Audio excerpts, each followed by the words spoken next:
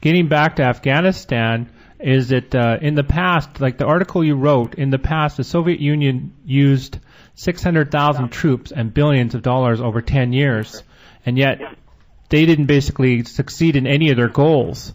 So uh, what I'd like to know is that why why does General Hill and the conservative government think they're going to be any different? I mean, you can't bring democracy at the barrel of a gun or a cannon. You have to bring it through the people.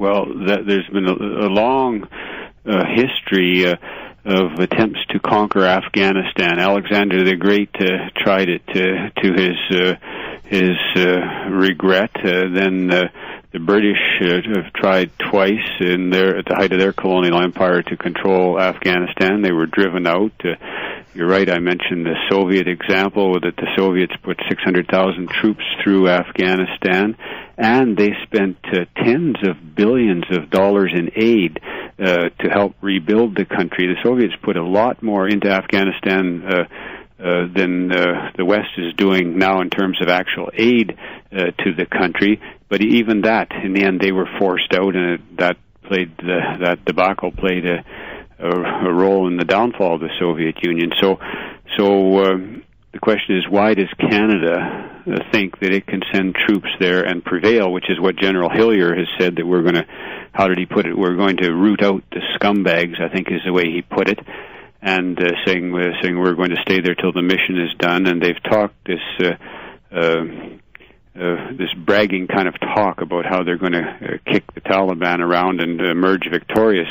But if you look at history, much bigger countries than than Canada have come out of Afghanistan with a bloody nose, and I suspect that's what's going to happen to Canada at the end of the day. So the question becomes, why are we there? Even the British now are saying that the war can't be won uh, by by the West and that we're losing it.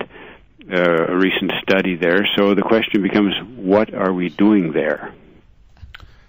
David, uh, we're going to have to wrap up pretty quick because we have to continue on with our second interview. But I, we just have uh, one last question for you. Uh, in Afghanistan, actually, I'll ask. Tanya wants to ask the question. Hi, David. Hi. Um, I just wanted to um, ask about uh, something that's been in the mainstream media lately. Um, the uh, opium production in Afghanistan. Um, I was reading in a Guardian article that the country accounted for 92% of the world's illegal opium production. Mm-hmm. But um, some organizations have suggested that um, the solution would be to legalize this opium production to um, make up for the uh, lack or the need for uh, painkillers and morphine um, in in various countries. Uh, yes. Can you comment on that?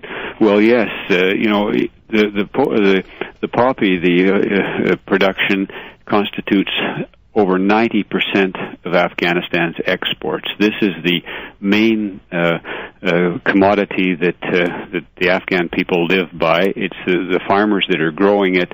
It's their main source of livelihood the Americans are going in uh, attempting to eradicate, uh, plow down, and now they're talking about spraying uh, chemicals over the country to destroy it. Canada's been helping with that. Can you imagine what kind of result uh, a poor farmer who uh, has his only crop destroyed they don't have social assistance they don't have programs like that to help uh, the farmer's family survive if he loses his crop they're facing starvation. So this uh, uh, attempt that we're saying that we're going to help the Afghan people, but at the same time bombing them and destroying their main source of livelihood, it's no wonder that the campaign is backfiring.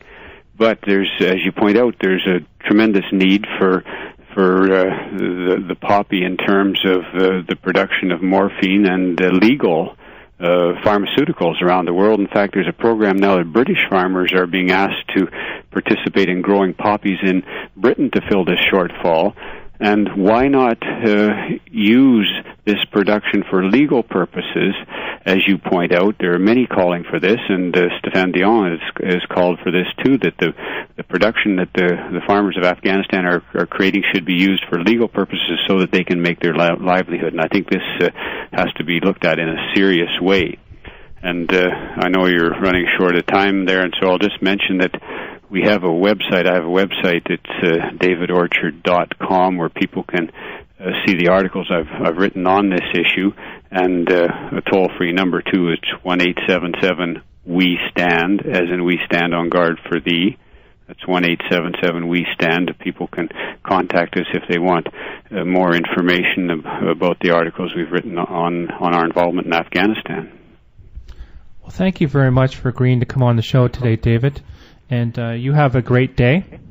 Thank you very much, and the same to you. And uh, I think if people will raise their voice across the country in terms of of uh, letters to the opposition parties, uh, courtesy copies to them to the prime minister, so that he knows from one end of the country to the other that Canadians want their military used to protect our country, but not to uh, uh, inflict agony on on the poor third world countries. And we need to raise a voice across the country on this issue, in my view.